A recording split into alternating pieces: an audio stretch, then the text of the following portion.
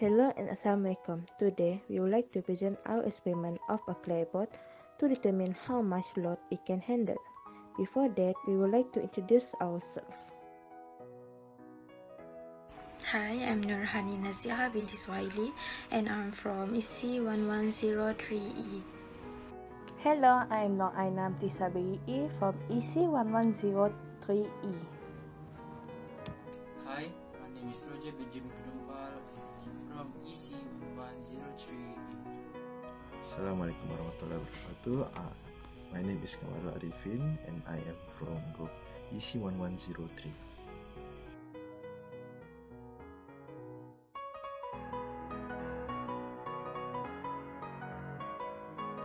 Next, I will tell you about the materials you will need to make the clay boat float. So the materials are tissue, plasticine, transparent container, beaker, scissor, sellotape, ruler, coins, and lastly, water. For the test one, step 1 is to measure the weight of the clay after roll the clay and turn it into a round ball. Next, Fill the container using beaker filled with water for about 3 quarters full of water. After that, on the outside of the container, make a mark to show the water level by using the sellotape.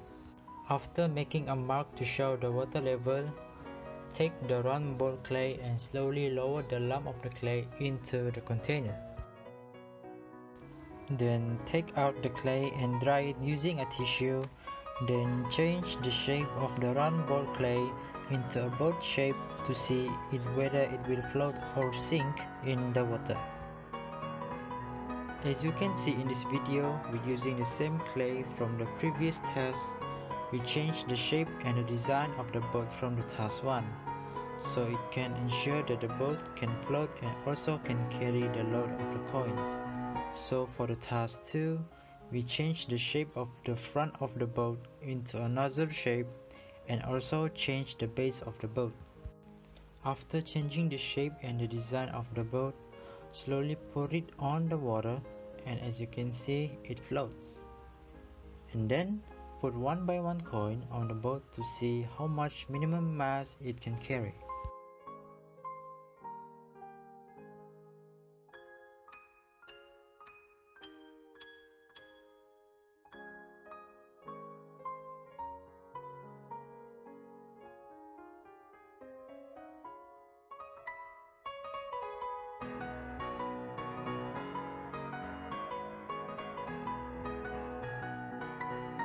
And as you can see, the boat finally sank after a coin mass of about 372 gram was placed on the boat.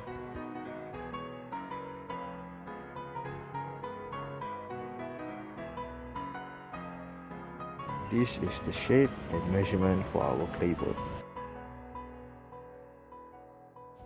Give a thumbs up if you like our video and thank you.